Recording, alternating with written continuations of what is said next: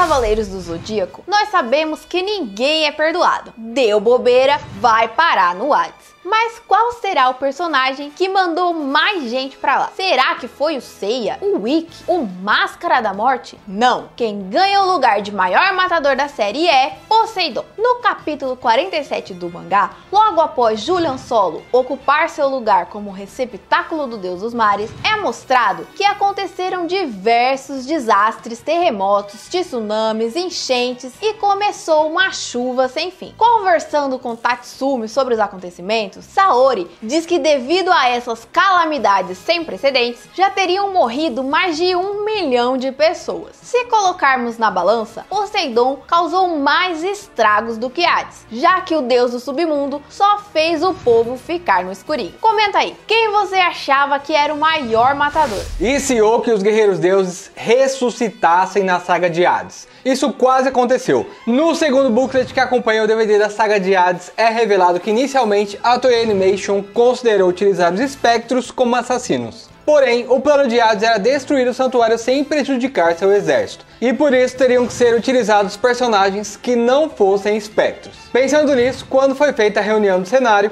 a equipe chegou a cogitar aproveitar Oco e os Guerreiros Deuses, mas no final acabaram definindo que os Cavaleiros de Prata apareceriam como espectros para assassinarem os Cavaleiros de Bronze. Além disso, é citado que a ideia de utilizar os Cavaleiros de Prata foi originalmente pensada para o mangá, porém acabou descartada por não ter impacto suficiente naquele momento da história. Comenta aí, como você acha que seria se os Guerreiros Deuses ressuscitassem na saga de Hades? Quem é Lázaro Gongorgônio? Nem o Lázaro Gongorgônio conseguiria acabar com ele. Será ele apenas um amigo imaginário do Shiryu? Tínhamos que descobrir. E por isso, assim como os cavaleiros, nós não desistimos e fomos atrás de resposta. No episódio 28 do anime dublado, no minuto 4 e 14, Shiryu cita o famigerado Lázaro. Porém, ao assistirmos o episódio em japonês, descobrimos que essa fala não é do dragão, e sim do Algol.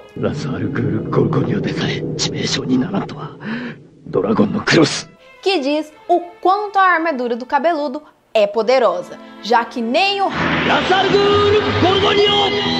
conseguiu vencer ele. Ou seja, foi um erro na dublagem. E o Lázaro Gongorgônio é apenas o nome de um dos golpes do Algol. Uma resposta bem menos emocionante do que esperávamos, né? Tétis de sereia iria trair Poseidon?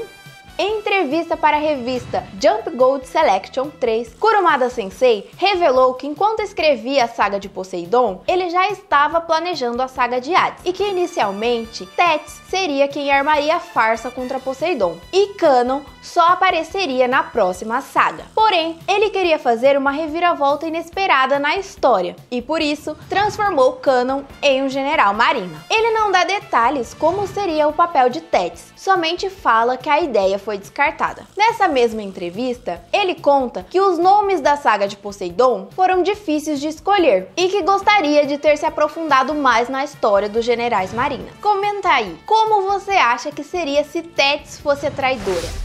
Seria bem louco ver uma estátua de Atena lutando contra uma de Buda, né? Já imaginou? Pois um dos editores do mangá The Lost Canvas já. Segundo uma conferência realizada no evento francês Cartoonist em 2013, ao ser questionada sobre sua relação com os editores, Shiori Teshirogi disse que precisou mudar de editor três vezes e que um deles sempre tinha ideias bem diferentes que foram abandonadas por serem impossíveis.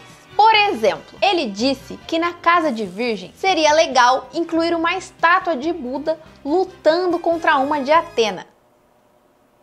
E também queria que o espectro de morcego tivesse alto-falante nos pés para poder estourar tímpanos, pois achou que seria engraçado. Uma luta de estátuas realmente seria esquisita, mas o alto-falante até que seria da hora, vai. Em Santiceia, Canon é conhecido como um general marina. Porém, segundo a enciclopédia oficial, ele não é o verdadeiro dono da escama de dragão marinho, mas Poseidon permitiu que ele a usasse. Em um extra do mangá Re-Rise of Poseidon, na cena onde Canon entra na fortaleza de Poseidon e se depara com as escamas dos generais marinas e a do deus dos mares, ele de repente escuta uma voz perguntando: Quem é você? Como revelar seu nome não é uma opção, ele olha ao redor e começa a divagar sobre as possibilidades. Cavalo marinho? Esse vai ser montado a vida toda. Crisaur? O que, que é isso? Sila? Sirene? Essas devem ser de mulher. Kraken? Um polvo gigante? Dragão marinho? É, dragões são populares. No final, ele leva um supapo da escama do Poseidon e acaba falando que é o dragão marinho. Os Cavaleiros de Bronze são milionários? Pois é, sendo filhos de Mitsumasa Kido, biológicos ou adotivos, eles são herdeiros legítimos, tendo direito à divisão de todos os bens dele, o que inclui a Fundação Graade, a mansão, a Casa da Montanha, o hospital, o Coliseu da Guerra Galáctica e até os petroleiros.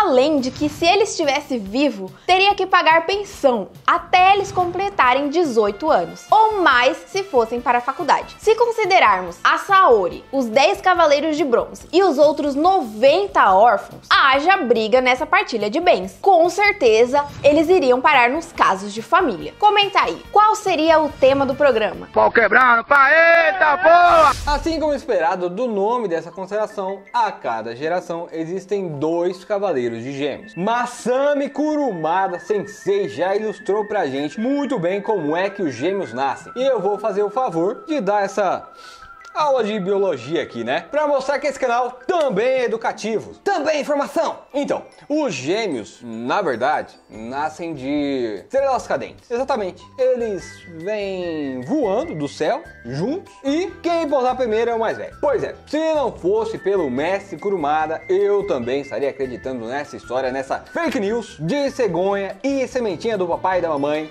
até o dia de hoje. Obrigado, grande mestre do traço ardente, por sempre trazer a verdade para os seus leitores. A segunda versão das armaduras de bronze era para ser bem diferente do que conhecemos no anime. O segundo box de Blu-ray da série, lançado em 2014, vem acompanhado de um livreto que mostrava qual era o design inicial. O plano era fazer as armaduras mais reforçadas e por isso foram retratadas como armaduras pesadas. É possível notar que a proteção seria melhor e que elas iriam possuir mais peças, ficando quase como uma armadura de ouro. A do Shiryu, por exemplo, primeiro era para ter o escudo e o elmo com formato de cabeça de dragão. Depois tentaram só o escudo, mas também não deu certo. Posteriormente, a ideia foi descartada e eles decidiram seguir a tendência de simplicidade do mangá. Comenta aí, qual V2 é a sua favorita? Muito obrigado, Seiya. Você me entregou a água da vida. Eu lhe sou grato. Mas, Shiryu, eu acho que não adiantou de nada. Não pude curar seus olhos. Ah, não se preocupe com isso. Eu não mudei nada daquilo que costumava ser. Vou lhe mostrar que eu até amadureci. Já que não posso enxergar, mudei minha maneira de pensar. Fiquei mais aliviado quando vi o seu rosto. Que bom que você está bem.